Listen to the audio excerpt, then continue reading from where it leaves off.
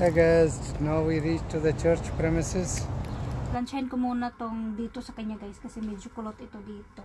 Yan, nag-ready kami kasi magsimba kami ngayon guys. Ang oras namin ngayon ay 4.20 ng hapon. At nagbihis na si madam, si Jenny, tapos na at ako.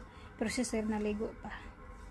Kasi mabilis lang naman yan siya. Pagkatapos na maligo, nagbihis tapos yun, okay na. At ngayon guys, isuot ko tong earring na binigay ni Jenny kasi red siya. Matching siya sa damit ko.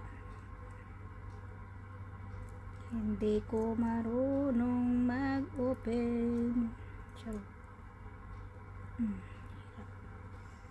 subang late niya? Jenny make it hot. I will make from the back. Ano ba yan? hindi siya mapasok aray malaki yung ganito niya guys. Hindi mapasok sa butas ng napakaliit kung oh sobrang liit kasi ng butas ng ano ko. At ito malaki. Hindi mapasok. Yan napasok na. Ay namumula na yan. Nag-init yung tainga ko guys. Sure namumula yan. Oh di ba? Sobrang cute sobrang cute niya guys. Kasya talaga sa napakaliit na tainga ko. Malaki lang yung ganito niya masakit oh. Nanginit yung dalunggan ko. Pero ito guys medyo malaki ito kasi nasira yan. Nasira noong nag bagong tuhog ako. Nirapan talaga ako maglagay sa mga ganito yung may lock lang siya na ganyan guys. Easy para sa akin pero ito hirapan ako kasi o oh, diba sobrang cute nyo talaga guys parang totoo Charlotte at itong damit ko guys, minatahi pala to ng amo kong babae kaya ayan oh, parang cortina. parang cortina siya guys.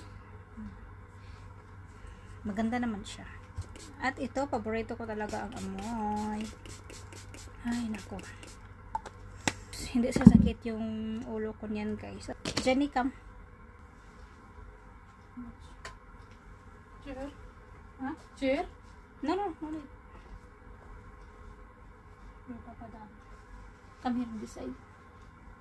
Plansyahin ko muna tong dito sa kanya guys kasi medyo kulot ito dito. So ganyan lang siya guys, kunting ano lang plancha. Yung dito lang, oh, 'di ba? Ang ganda na. Kunting plancha lang kasi open yung buhok niya. Then look here. Show your hair. Okay. Sabi ng alaga ko ito daw yung gagamitin ko na sunglasses. Kasi sobrang init sa labas. Oh yan oh.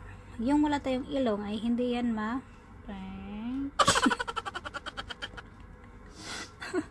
sobrang laki niya guys. Kasi pabalik-balik lang daw tong isang sunglasses ko. Wala naman akong ilong.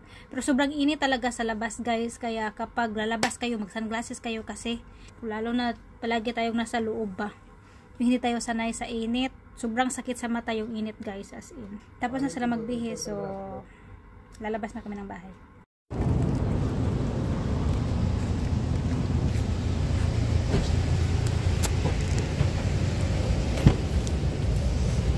What is this plastic bag? oh my god.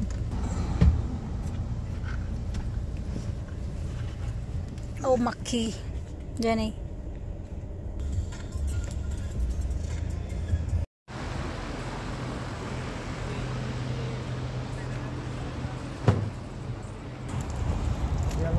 Hi sir, Jenny.